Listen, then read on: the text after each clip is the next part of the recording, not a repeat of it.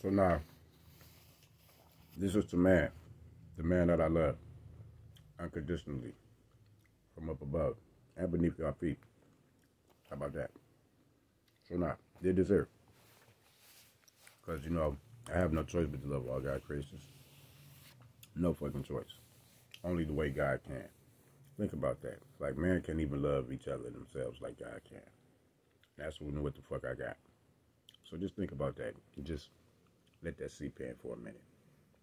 Just feed off of that before y'all continue to abuse me, male and female alike. Seriously, just just feed off of that. Like the love that I have for you is the love only God can have for you. You can't even have this love for yourself. That's why y'all got to be purified so y'all can have this same type of love that God has for you, for y'all, so you can understand and feel how God feels for y'all. And then, if y'all can understand how God feels for y'all, you would never do none of the shit that y'all do to each other. Never. It won't be possible. You you you you value yourself too much because you really see and receive the kingdom of God within you, and you see everything outside of you, and all of y'all, and you just see you you see you differently. You say you, you see you all differently. You see you the way I see you, and you love you the way I love you, male and female alike. That's all y'all got to fucking focus on.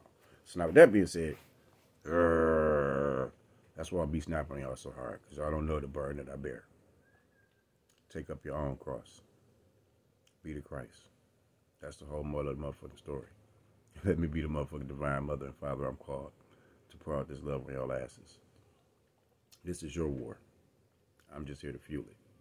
So now I'm giving y'all the pertinent instructions to leaving the Bible, the buy, the Bible. Y'all getting off the Bible. And y'all going into the law of, of love, life, live, give, no more taking, real, no more faking, real shit. It's not a joke. It's not a game. So now with that being said, to them circles, I love y'all. but I had to point out what y'all do. You know, once I bring shit from the darkness into the light, that means you should be bringing shit from the darkness into the light. You should be follow the leader. I could be I could be your end in a good way or a bad way. You could suffer the spiritual death and then go through the spiritual rebirth, which is the whole more than purpose.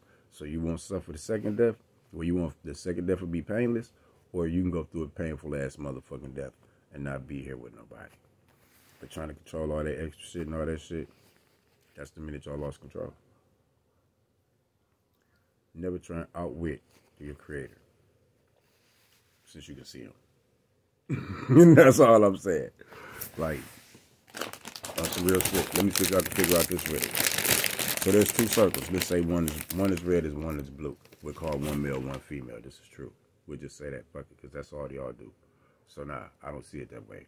That's just y'all. So now, let's just say you got the lawless one on the side where the motherfuckers is, and then you got the one that's created the laws on the other side, right?